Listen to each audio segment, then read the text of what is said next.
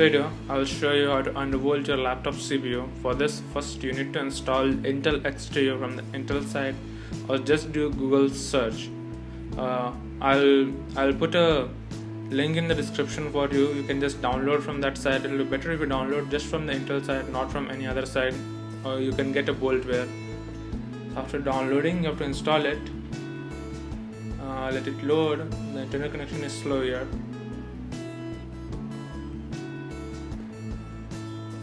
So while it is installing I'll tell you why you should undervolt and what is undervolting. Well let's start with what is undervolting. Your laptop CPU it is designed uh, it is designed for a certain voltage but that voltage is generally greater than voltage which your CPU should work.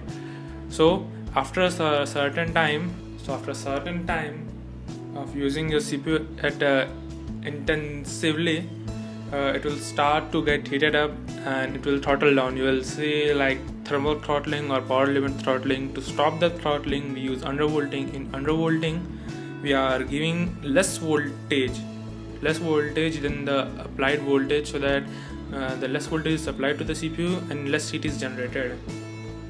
And you should undervolt it but it's a risky task. If you undervolt for a long period of time like 3 or 4 days it may seriously damage your cpu so it's recommended only undervolt when needed and only for short durations of time.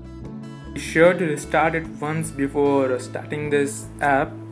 You should just uh, restart from the app only.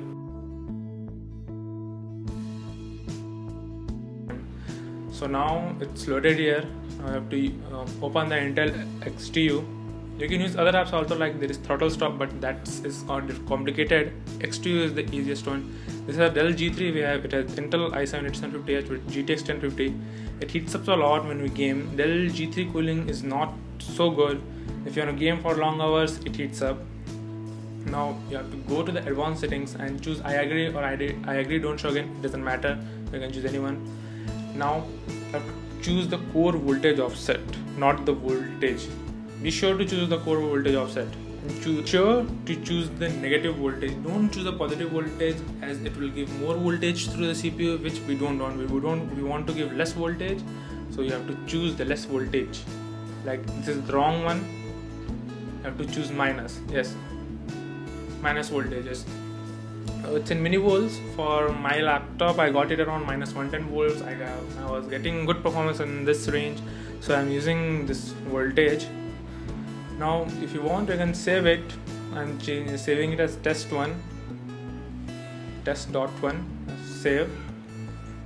Now you have to do benchmarking through this app only. It will be better if you benchmark through this lab and don't go to other apps.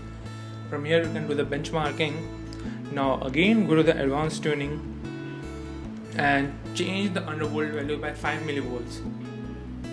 Like I'm making it again to 0 here for the H series it will be better if you start from somewhere around minus 80 millivolts and for U series it's somewhere around minus 60 millivolts. At that uh, from that point you should get a considerable increase in performance.